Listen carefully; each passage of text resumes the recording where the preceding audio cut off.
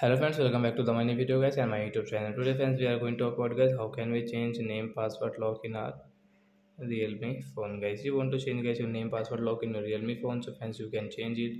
And guys now let's see how to change name password lock in our realme phone device. So first of all guys open your phone setting to change your name password lock.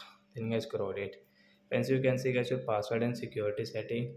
Guys tap here. Guys click on lock screen password then enter your name password lock guys guys click on this again guys. Alphanumeric tap here. Guys enter guys same password.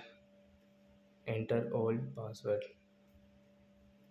So a new password guys i will change into my name friend ravi. But guys you can change yourself. I change into my friend name ravi. So i will tap here to change my password. Then guys you can see password has changed. If i write ravi my friend name you can check password from here guys. So like that guys your name password lock will change in your realme phone. So that's it guys. Thanks for watching. We will meet on next video. Bye friends.